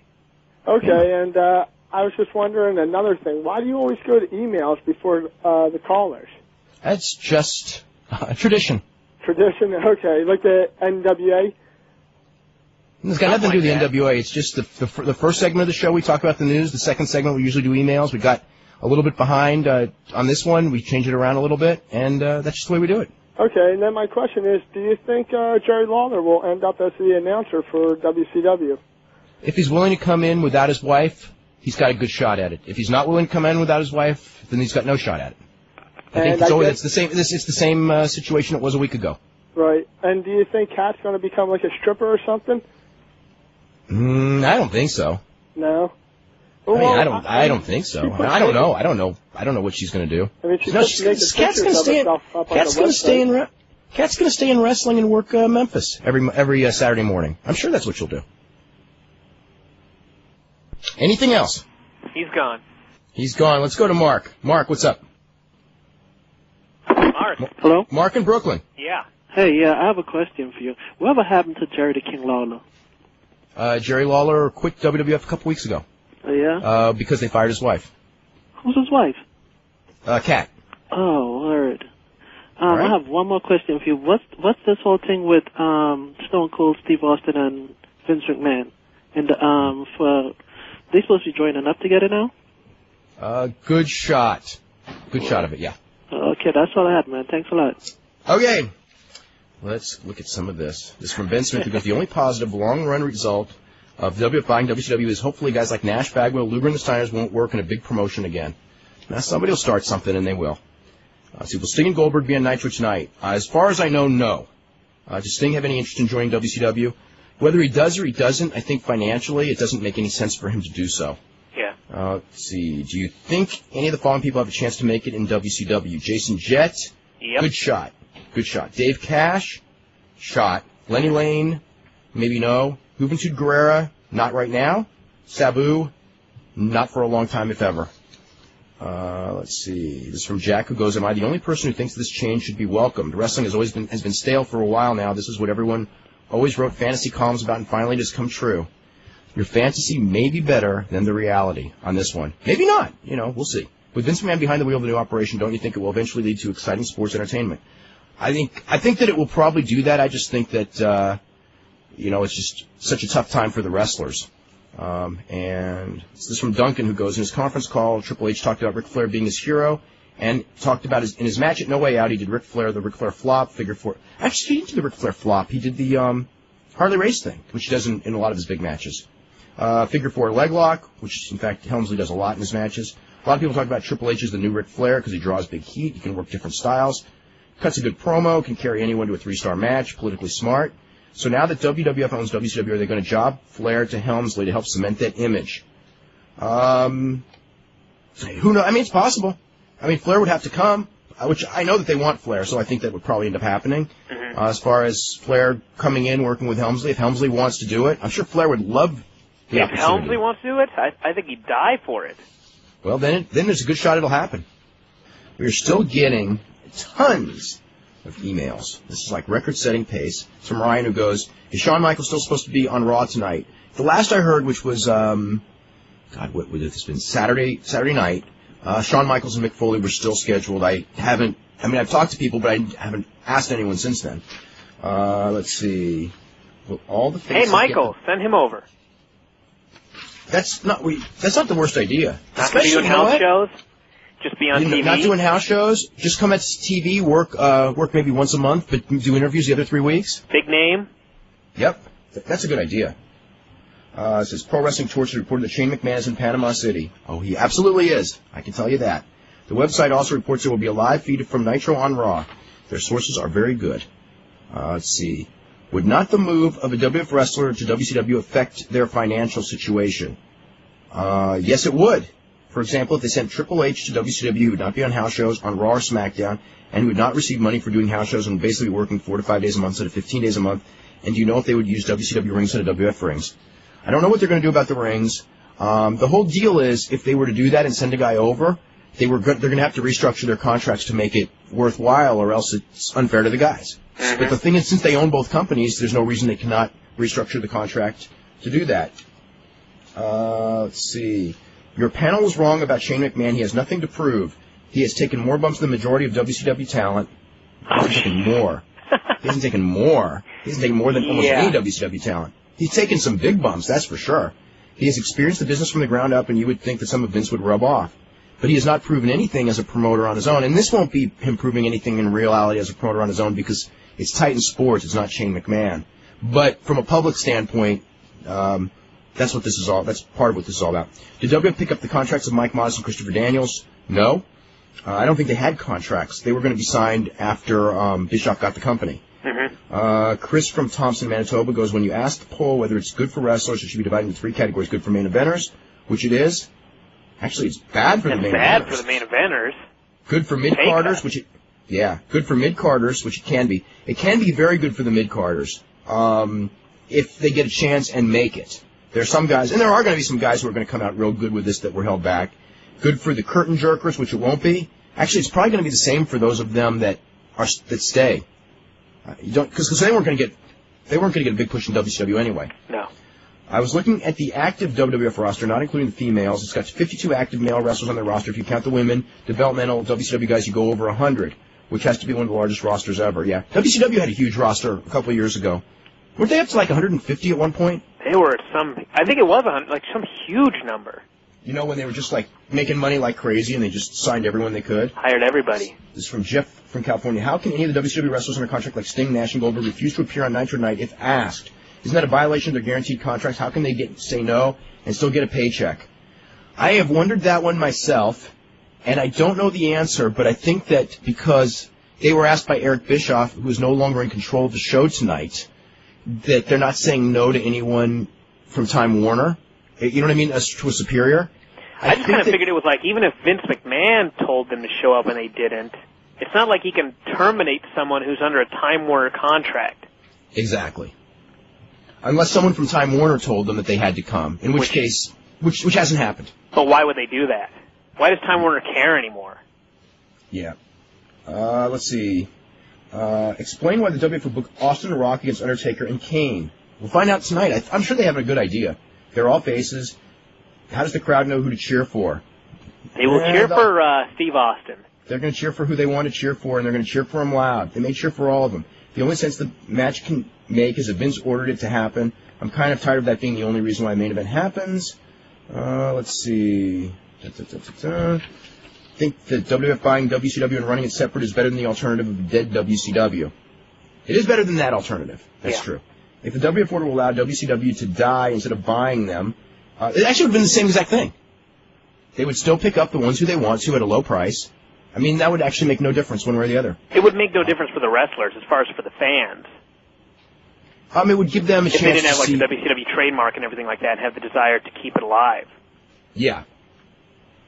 This is from George, who goes, I watched The Last Thunder on Wednesday, and I just was about to change the channel on the Dustin Rhodes segment. Ric Flair appeared and started to cut his promo. During the promo, Nature Boy set fire to what was a trash segment. Also electrified the crowd, which wasn't close to capacity. Man, I don't know if he long- electrified the crowd. My point is, all the Mark fans in me from the last Wednesday until whenever it happens cannot wait for Rick to walk down the ramp on Raw and pop a capacity crowd. Uh, which brings me to my question, will any WCW wrestlers appear on Raw? I think eventually they're going to have to. I don't think there's any doubt about that. Just to build up Raw, just to shoot angles, to tell people to watch on Saturday nights when the thing starts. Let's start with Alan in Florida. Alan, what's up? doing today? hey, Hey, I had a few questions. Um, you guys about the roster with the WCW. How big do you think the roster should be? Evi- Evidently, we know they're not going to take all their, you know, the talent. I mean, are they going to get most of the other talent, I guess, from their development territories and stuff like that, or independent? I think it depends. They'll- I'm sure they'll bring in some ECW guys. Um, they may bring in a few of their developmental guys like Steve Bradley or Scott Vick that they've been wanting to bring to the main show, but just haven't had a slot open for them. They're not going to bring up Um, any guys that aren't ready. No, it'd be stupid to do that, hmm and I don't think I don't think they will do that. How, how big do you think their roster should be? I mean, it's not. I mean, what, how many? You got to do two 40 hours of. TV, two hours of TV every week. Yeah, maybe 35 guys. That should be decent enough. How about tag teams? Though, There's, I mean, is there enough tag teams even on their roster? Well, they got they, they can get as many as they want. They, I mean, they, whatever they want, they're going to hire anyway. hmm So it's it's it's not a number. It's like whoever they want, they're going to hire. Whoever they don't want, they're not going to hire. And it's up to the, the people, you know, the booking people to figure out what they want and don't want, and who fits into what who fits into their plans. Now, do you think also McMahon might some of the wrestlers from WCW like some of them might you know how he's a genius for gimmicks and stuff. You don't think he's going to change some of their like give them characters? Some of them that you know. Oh, absolutely, he will. Absolutely. Yeah. One more quick question. You guys, somebody was asking before about ECW. I heard something on the net. I don't know. You know, on one of those news boards. It doesn't mean it's you know accurate information or whatever. But that McMahon might like use that as a development group. Like you know how he has like the big two. He might buy them. I guess. I guess. Uh, they, they they they could do that, but I don't think they will. And the reason I say that is that um, they've already got developmental things in Memphis, Puerto Rico, and Ohio Valley. They really don't need. They've got more guys in developmental than they'll ever know what to do with. So why add another developmental territory? There's just no purpose to it now. They, and Sure. and yeah, they they still may do it. I'm just thinking. I'm looking at it from a logical standpoint. You don't need more than three. And they yeah, I mean, they right already now. just got WCW. I don't know why they would want to have a third group running owned by. I mean, we Yeah. all know be run by them, but Yeah, they're they're going to they'll probably use the ECW name in some form or fashion in an angle, you know, sooner Yeah. than later. But but um, I don't see them like running ECW shows, and certainly not ECW style shows. They may, you know, I, I don't see it. yeah, I don't see it either. All right, well, it was nice talking to you, and I first time caller, and I like your show. It's pretty good. and I'll continue listening to it. Thank you very much. Appreciate it. Let's go to Andy in Long Island. Andy, what's up? Hey, what's up, guys? Dave, I'm a first-time caller, but a long-time fan of the Wrestling Observer. Thank you. Uh, you are definitely a genius in this business, and uh, you have a big part no matter what anybody says. Oh, thanks. No, I'm, I'm very sincere when I say that. Anyhow, um, just a little a little note. Um, I don't know if you heard Sandman jobbed out to two New Jersey indie workers this past week, and he put over Jerry DeBall and Homicide for Jersey All Pro. Uh huh. Actually, put Homicide over in the ECW arena. I know it doesn't Oh, mean a lot, yeah. but I guess three or four months ago that would have been a huge story. Yeah, yeah. Sandman losing at the ECW arena to the, to the yeah, I heard about that. Yeah. Um, also, uh, it's a shame that NWA doesn't have their, uh, you know what together because uh, this would be a perfect time if they had some money behind them and something going on for for them to really build things up and uh, become a, a major force in this business. It would be the perfect time for anyone with a lot of money who could secure television. It is the perfect time for anyone like that. The problem is, is is the money in the television. TV. Yeah. It's just terrible for guys like Mike Rapada because you know Mike Rapada's a world champion, but he has nowhere to show show himself off anymore. You know, doesn't. The thing is, if they actually had had talent, then Mike Rapada wouldn't be the world champion. So it's kind of like a double-edged sword. I know. I kind of said it tongue in cheek. Um, I don't know if you caught any Apprentice's shows lately. It's pretty bad. I mean, he's got like Tony Falk doing his gimmick. Have you heard this yet? Two Falk for sure. He's doing like He a white guy acting like Tupac. Yeah, I saw that when he did that gimmick in Memphis like about a year ago. Oh my I've- God, it's awful. And uh, what's, Oh, what's the story of the New South gimmick, by the way? The New South, it's it's like uh, um, what's the? It's it's like two guys. It's, it's actually so it's, it's an Australian guy and a and a African American guy who are kind of pretending to be like you know good old boy Confederate rebels. What was the origin of it? Do you know? I think just that, just that idea that you know, like um, the South will rise again, and all the rednecks, you know, in that area, you know, are, are like like wave the Confederate flag. That's always been kind of a thing, like you know, Southern boys and all that. And to have like an African American and an Australian do it, that's the the heat behind it. Because I really think that Corey Williams, uh, it's, it's, it's another guy who's going to be hurt by this whole thing. Because I think with, with a little, uh, feel like a, a coach like a Paul Heyman to help him out with his uh, mic skills, he could be a major force in this business. Really? I haven't I'm not, enough I'm of him. so I mean, crazy about seen- Ashley Hudson though. Yeah. Oh, I, I, I, Ashley Hudson was with Daffney, and then that was another one of those angles. Ozzy, yeah. the great Ozzy. He went to Australia and never came back. they went to Australia, and that was it. And do you guys really think Jason Jett's going to get picked up? Because I think he's got a huge future. I think strongly. I'd be very surprised if he wasn't because he did real well on the last few weeks of TV, and I cannot imagine when they consult with various people, when WF consults with various people, and they go through the list of people in WCW and ask, okay, what do you think of Jason Jett? I can't imagine anyone going like, no, 'cause Sean also, O'Haire. you know, I'm sh- yeah, I, I I would be shocked if he's not picked up. And you're pretty sure we're going to see Rey Mysterio? Rey Mysterio, I am not sure of. They were very negative on Rey Mysterio, but I know some people went to bat for him, um, like Benoit and them um, at the Garden the other night to Stephanie McMahon. So um, I, I I'm tending to think that they will pick up Rey Mysterio when all is said and done. I So I think the, the But I- negative Konnan rub just really hurts him, and really, I think he's a great worker and great innovator, and he does have a place in this business. But why? I don't understand why. You know, you can't be judged by the fact like who your friends are. I mean, I mean, everyone's got everyone in this world's got some pretty unsavory friends, except for Brian. But Oh yeah. I, must say, I, I think it's a terrible uh, preconceived notion that they have about Ray, and I don't think it's true. yeah, I mean, like like like Hunter's friends with Nash. Does that mean they ought to fire him? Yeah, just incredible for that matter. Yeah. Okay, well, uh, I'm going to get going. Thanks for taking my call. Uh, this is Sweet Andy Rapata saying, woo! Okay, cool. Let's go. Okay, I'm going to read this from Andy Patrizio, who's been trying to get in. Um, he goes, as for WCW, perhaps the 11 to 1 hour will allow for more raunchy stuff, but that time slot just plain stinks. I hope WCW, they use WCW as the work rate federation with emphasis on light heavyweights. I think that they're going to do emphasis on light heavyweights just because that's the guys who they've They're got gonna have light heavyweights. Yeah, I think that, yeah. I mean, I, I don't, I, I don't think it's like something that McMahon would want to do, but I think that it's just going to end up that way. Okay. My idea for an angle uh, with the group would be of, would be for them to resist the WF domination and do some sort of a breakaway Declaration of Independence type angle. Imagine the fun Steve Regal could have with a rogue federation declaring its independence from King Vince. Actually, that sounds pretty funny. it actually does.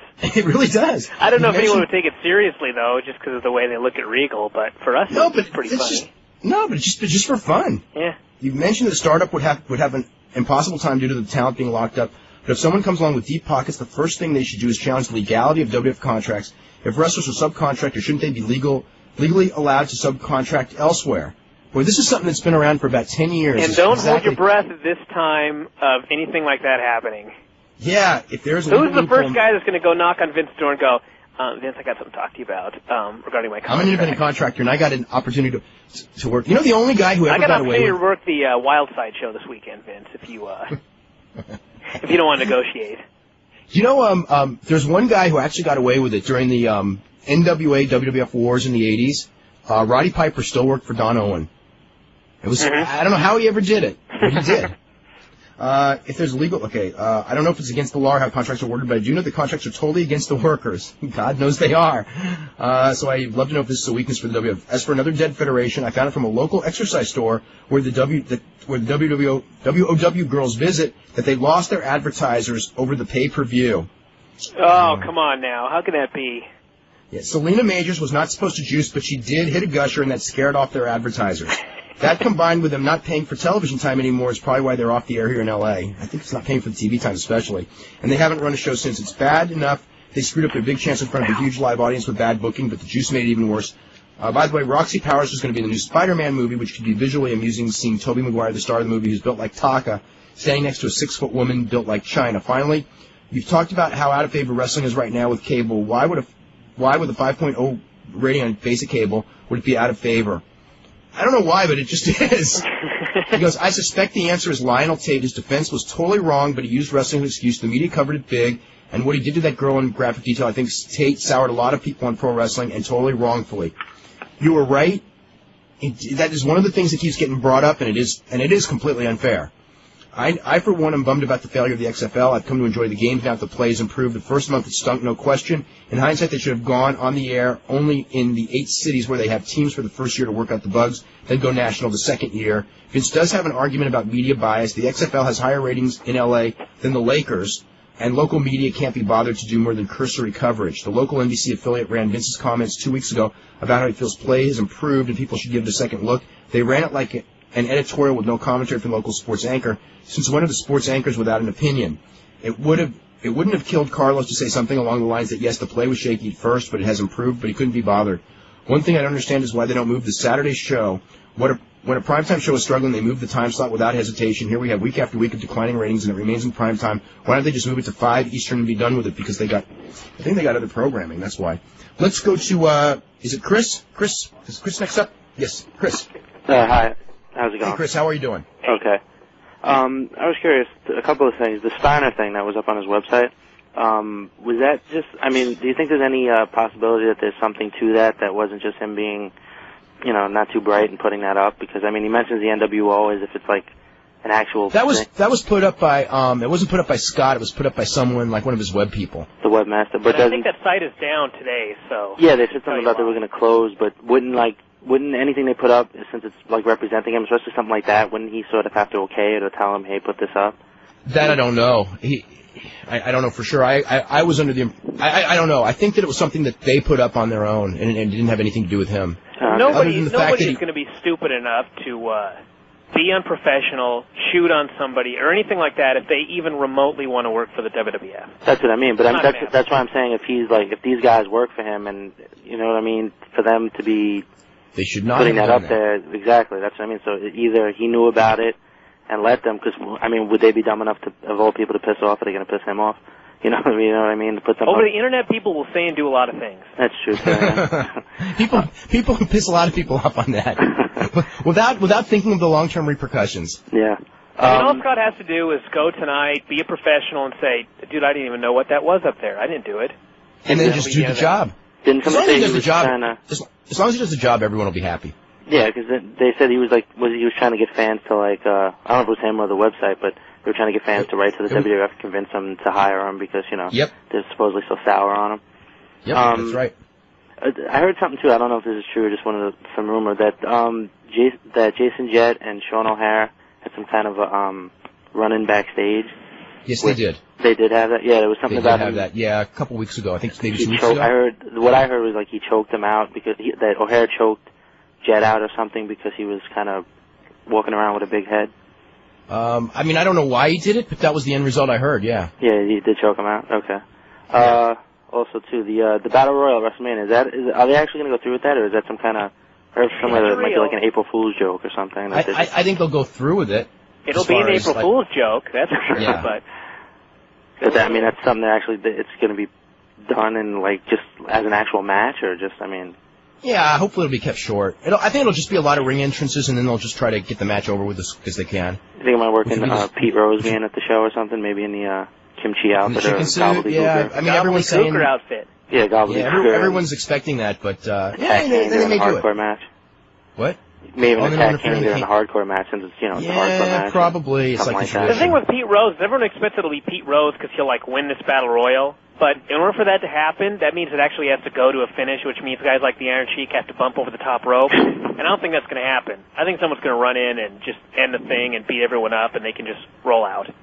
Yeah. Yeah. Um, with on the WCW end, does um, they have the deal with Michael Buffer? Does that like does Vince have to honor that? That he has No, to? no, He doesn't. no, he does not. No. Okay, I was just Not- curious. 'cause I know he that was not among the 16 contracts that were, or 24 contracts that were bought. Well, what I meant was, well, we don't know about those other nine names, though. No, I, I, I think that I would have heard if Buffer was one of the names. Okay.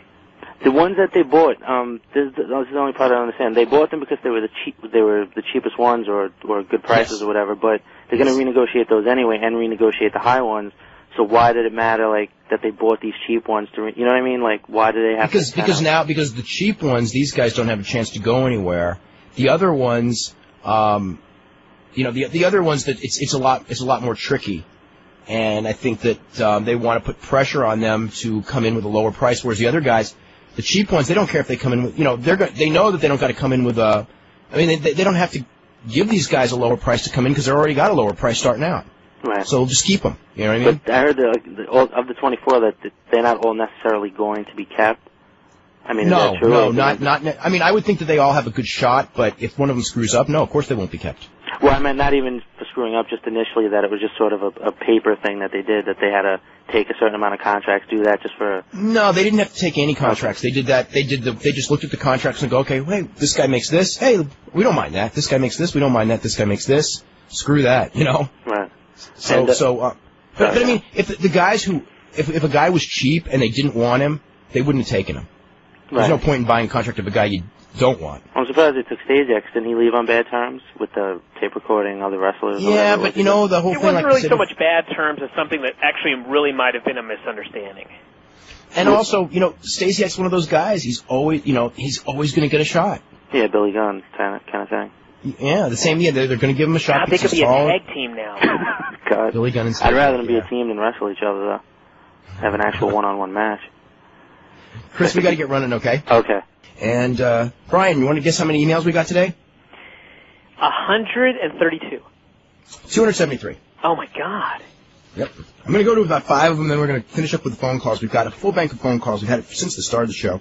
Who's going to call WrestleMania? Will it be Ross and Heyman. Yes, it, as of light, as of right now, it is Ross and Heyman. And will Pete Rose be there? I, for some reason, I assume that he will, but no one's actually told me that he will. It's from Ben Miller. It goes, Roddy Piper told me the show he did in Denver drew 2,500. Is that true? No, but it drew like 14 or 1,500. I had the number in the Observer a couple weeks ago, uh, which was like the paid attendance. I think it was like, I'm guessing 1450 range. The reason I ask is the comment that no indie promotions are drawing a thousand. Actually, um, even bringing in older stars. Well, Piper, of, of guys out there, Piper probably would draw more than uh, most, just because he was really a huge name in his day. But uh, yeah, Piper did draw over a thousand. That's true. Uh, will Doug Dillinger keep his job as head of security? I would guess not. Why not? Um, I just They got to have a head not. of security.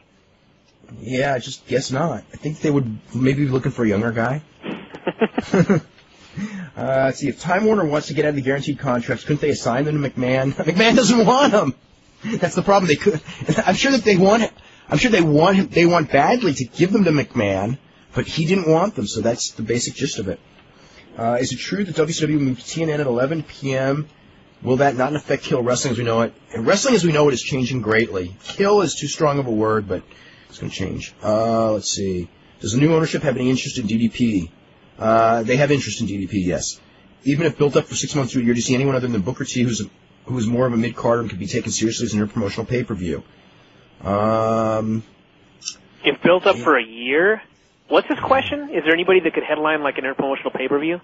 yeah, other than Booker T. You Depends look at get. look at all the guys that went from WCW to WWF and became huge. There were a lot of them. You mean like Austin and people like Austin oh yeah, Helmsley? I'm sure there's and, some uh, guys over there that uh, they could be something in a year.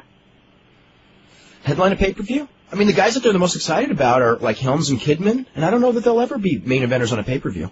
Mm-hmm. Well, if it's built up for a year and they send someone from the WWF over right now, in a year there'll be a WCW guy ready to headline a pay per view. Uh, let's see. Uh, let's see. Let's let's go. We'll go to Ed in Texas. Ed, what's going on? Uh, Dave, I wanted to ask, what's going to happen with WCW Worldwide? I think it's got about a week or two to go, and and and then that'll be it. Originally, this the show that was taped this week, which I think would air this coming Saturday, was originally supposed to be the last show, and I think that they actually called it like it was the last show, and then when it was over, they were going like, "Hey, let's do two more." So I think they may either next week, within the next three weeks, it'll be over. But I'm not so sure. the. WWF thing, is he going to be able to pick up their time slots on all the syndications? I guess if they want to and they want to pay for them, they can, but I don't think that they're going to bother. Count on it. Yeah. Okay. Especially Okay. a show like Worldwide that nobody really watches. Mm. Okay. Well, also I wanted to ask the the guys who are on like um on um like uh Luger and and Buff and Steiner, did they show up today? Do you know? If they're supposed to, I haven't. I think I, I think if they're supposed to, that they're all there. I'm sure Flair, if they want Flair, Flair ain't gonna no show. I mean, Luger. No, who is? I mean, it's like anyone who thinks they're on the bubble, they're not gonna no show tonight.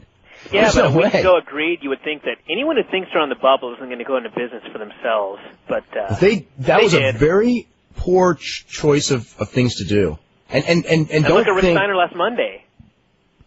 that was a very poor choice of things to do. The only you know the only th- reason why that may not kill him is because the WWF probably doesn't have a big interest in Konnan. Like if he had done that to like say like Chavo Guerrero or Shane Helms or Billy Kidman, you know he'd have no prayer. I think he probably still, still it's has an no act prayer. of unprofessionalism, you know. No, it's totally unprofessional. Doesn't matter who if you they want to to. clean up the locker room, they need to get rid of guys like that that are going to go into business for themselves.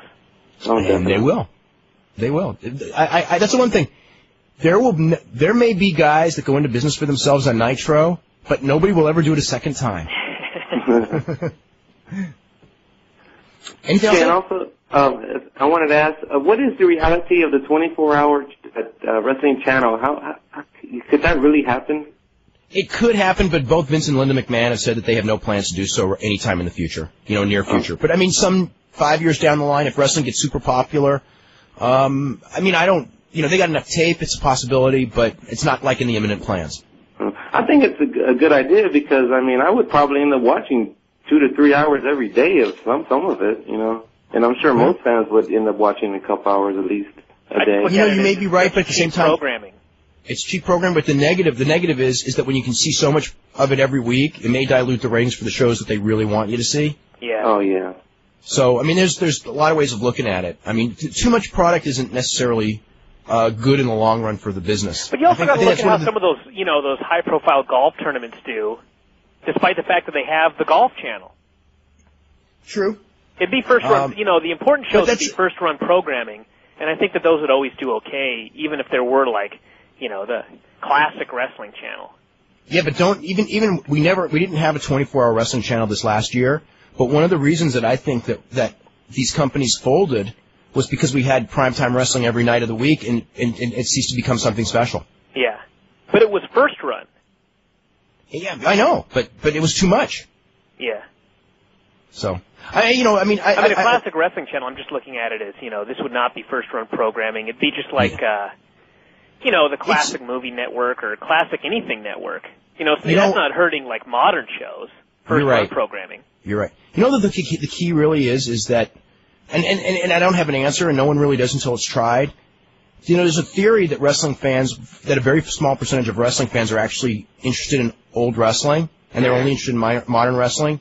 And if it's out there, and that's the case, and they're not interested in history, like sports fans generally have more interest in, in um, you know, you know what I'm saying? Yeah. In history of sports than wrestling fans. And if that's the case, then historical wrestling matches, you know, in, in, in a business that, except for people like us, really has no history, um, that may not have a great appeal. But it's like something we've talked about before that there's a reason that uh, modern fans don't care about history. It's because they've been taught not to care about history. And if Right. it's out there for them to watch, I mean, they may they may be huge for it. And you know what? It, again, you know what it is? It depends on how it's presented and how it's tied together. Mm-hmm. If it's tied together well, it, it it's viable. I mean, it, it you know it's viable. Um, you know they have it in Japan, so Yeah. you know why why couldn't they have it here? I think they may have one in Germany too, but I'm not sure. Okay, and one final question that I have is: uh, Is Hector Guerrero going to be doing the Goog- the Googly Gooker at WrestleMania? Possible. He was the original one. I don't know for sure though. That I got this Those are feeling some. That's a big costume to fill. if you can't be there, they may not have the gobbledygook. All right. Okay, guys, Alex- thanks a lot. Okay, very welcome, Ed. Let's go to Alex in Ottawa. Alex. doing? Hey. Hey, we're doing pretty good. I got a quick. I, I got a little bit of a comment here. Um, Jason Jett. I think he's a great worker and all, but uh, I don't know His if you guys finisher's agree with me, but horrible? does- Yeah. Well, does that guy have not the worst tights in the world? Like his ring attire, Um, does it not disgust you, or is it just me? Because like Sort not of- since it's- Brutus the Barber it's- it's beat like this, have I seen anything that ugly. It's like this guy who doesn't really have a good body wearing a stripper outfit. Yeah. I know. I used to like a lot of when, people when he share that uh, thought, by the way. Remember when he was working in ECW. I used to think the same thing. It was like you know, it's like With the tights were, or the shorts were too small, with the money hanging out of it. Yeah, and Oh, they yeah. fall off. Yeah. I could not look past that that outfit. I mean, people would always go, "Man, that Jason Jett's pretty good," or "That uh, Easy Money's pretty good," and I could not look past that outfit. unfortunately, I think a lot of people can't. I think that maybe one of the first things that happens when they sign him is they're gonna they're gonna like send him an outfit rather than him coming up with one of his own. Well, okay, well, my wear real that question was, uh, I'm sorry, uh, my real question is about the WWF WCW uh, uh, possible angle they're going to do soon. Um, is one federation eventually going to take over the other? Is that what's going to happen if they go against each other? there's nothing like there's no long term plans, but eventually, yeah, I think that's just That's gonna what always happen. So Yeah, that's they're how it always ends up. it. That's how it always has ended up in the past. Um, I don't see any reason why it would be different now. Okay, I Okay. just wanted to know what uh, people would be, uh, since uh, everything pretty much on North American TV is going to be WWF uh, Vince McMahon style programming. If more people are going to be interested in uh, New Japan stuff, or maybe even Lucha Libre. Uh, not a whole. Gr- not, I, I, I mean, there might be a little bit more, but I don't think it's going to be any great shakes unless they were to get on. I mean, Lucha Libre is on TV. I mean, for me, I'll tell you what. I will be watching. I think Bryan too. We will be watching more Lucha Libre in the next year. Mm-hmm. I, I mean, I, I can tell you that. That's just how it's going to wind up. Um, New Japan. You know, I always watch New Japan anyway, but it's not on TV in this country, so. Until it is, I don't know that the that it's, it's really going to be anything more than a big cult thing of videotape collectors. Yeah. Well, I remember a couple of years ago they ran uh, uh, when Worlds Collide. I don't know if you remember that pay per view. Very much. I don't think I'll ever forget it. Collide. Let's. Yeah. Remember that? I don't That was like the that was I like the greatest pay per view. That one was Like in the- Atlantis and uh, oh, what are you doing, Bryan? That was like the greatest pay per view, like almost of all time, right up there in the top three or four. I couldn't believe the heat Eddie had on that one. Do you remember where he came out as I think Los Americas? I think the crowd was actually punching at him. It was just crazy. They were. Yeah. Is that normal? you act like Because that was the living first Rio tape I Grande. ever It got. kind of does it to the uh, Latino people. That was that was our yeah when Art Barr was doing that back swim, that backstroke deal. No, it was like pregnant women throwing stuff, throwing punches, and they were going back. It was just amazing. I like yeah, that was a, that was that was an amazing show. I'll tell you what. The first night they were at the uh, Sports Street in L.A., which was about a year earlier, maybe a little over a year earlier. Um, the heat was like twice what it was that night. Although that night was that night was a super show too. I mean that that Santo Octagon against um, you know Love Machine and Eddie Guerrero match. That's one of the best matches of the decade, I think. Yeah, I'd agree with you there. Uh, one last thing. Uh, wasn't K Dog uh, Max Moon? Uh, he was supposed to be, but uh, Max Moon was uh, Tom Boric. He was, Oh, he was originally the guy who was supposed to be Max Moon. He may he may have been Max Moon once or twice. Mm-hmm. Um, I'm not sure if he ever played it or not, but um, I thought he um, burned was his bridges with the WWF that week by uh, not. Sh- I think he he abruptly left when they had this whole suit made for him. Or was that somebody else? No, they had the whole suit made for him, and he never showed up because he was such a big star in Mexico. And in hindsight, I bet he wishes he could take that back right about now, because that's that's gonna that, that you know, Vince doesn't forget. and He didn't forget that, and uh, you know that's that's what's happening right now. Okay, thanks a lot, guys. Okay, you're very welcome. Let's go to Jason. Jason, what's up? Not much. How you gentlemen doing? Really good. Um, I uh, I guess this is the night to talk about contracts, and I actually have a question um, about when Vince McMahon um, didn't technically Vince McMahon breach Bret Hart's contract um, by not allow, allowing him creative control in the last 30 days of his contract. Yes. The, technically, I would say he absolutely breached his contract. Yes. Um, my my question then is why why didn't Bret Hart um, sue him for that? Because there had to be a lot of uh, money involved in that Uh, contract. because then Vince McMahon could sue him back for punching him in the face. Yeah. Uh, they were kind of at a legal stalemate, both sides. Plus, can you imagine that whole thing in court? Well, I, I I don't know, you know, and I I don't know, but I would just think an assault charge for a punch is not going to be as much as that 20 year contract. Well, Vince was claiming all of a sudden he had double vision. He was going to, you know, I mean, what's Vince, Vince McMahon's vision worth? Oh, you know, I mean, I know it. I know he. I know all of a sudden now we've never heard about double vision, but he'd have kept it at least until the trial. right, right. Read the There'd have top been line, Mr. McMahon. There's two. There would have been a permanent injury there if if if, if Bret Hart would have filed a lawsuit. Huh. Wow. Okay, I, I guess I never thought of it like that. Yeah. Um, what is uh? Is, do you think Eric Bischoff will um attempt to start up his own company um from scratch and try and I think that it? he would. I think he would love to. The key is, can he get television? But but if he could get tele, if he could get strong enough television, absolutely he will. Or he'll, or I should say he'll try. If he can get the funding in the television, yeah, for sure he will. Um, and earlier in the show, you said that uh, he was going to, or someone said that uh, he was going to hire Cyrus, and you said that he had a lot of good ideas that, um, you know, did not obviously did not come to terms. Um, is is it possible that you could share some of those ideas, or is that something that you would? Nah, because I'm trying to get the WWF to do them, and if I say them now, they're, they're, and it comes out they were Eric's ideas. Okay, I was yeah, Eric's that's- ideas. that's They were why- ideas that were that that people had pitched to Eric, Yeah. and and they were good ones. But that he was willing uh, to do. Yeah, I mean, but he would have been willing to do them. Okay. Well, hopefully, actually, maybe you know, hopefully he can start his own company and, and do those things because uh, I, I just don't see how wrestling can stand for for what we're about to uh, suffer through. Yeah. Well, if if he can, I mean, the whole key is the TV. If he can get a you know like someone a strong network to pick something up, the talent's going to be there, and and he he'll start something up. And if they can and they're viable, you know, it, it's a whole new ball game, and uh, and it'll be good. It'll be it'll be, good for wrestling, but. The TV, that, that TV barrier is so strong right now. I mean, the fact that he couldn't get the TV when he needed to. I mean, that was that was to me the, the the real the real news from last week was that you know here he had the chance to get the company, and the reason he didn't get it was because no TV station wanted it. Do you think, um, come this late this summer, um, that TV those TV spots might open up with the writer strike? Um, Um, that would help, possibly. Yeah, that's one of the reasons why I'm surprised that some of these networks were not more um, interested because of, for that very reason. Yeah. Because it is still first run programming, it still can draw ratings. The problem is the advertising community is looking very negative on wrestling, and that's that's the killer right now. Yeah. Okay. Well, thank you, gentlemen. You you guys have a good night. Okay, thank you very much. We are totally out of time. I want to apologize to everyone whose phone calls we didn't get to. Um, and I will put the emails on the stack, and hopefully we can get some more of them. We will be here tomorrow at uh, 5 p.m., and uh, we'll be here all week. And I want to mention, mention also that uh, Wednesday we're going to have Jerry Lawler, and Thursday I think we're going to have the first long interview in pro wrestling of Brock Lesnar. So it's going to be a good week. We'll see you all tomorrow at 5.